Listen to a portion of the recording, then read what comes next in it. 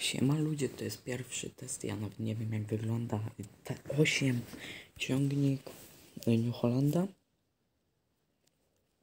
E, na mapie od Marcina.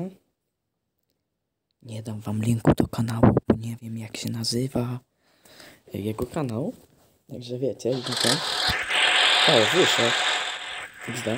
No koło, ale spoko. Fajnie. Cieszę się.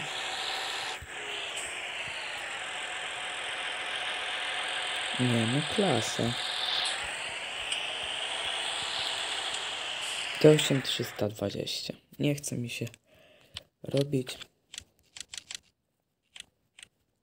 Zmian jest zamiast ciągnika T6, tego małego.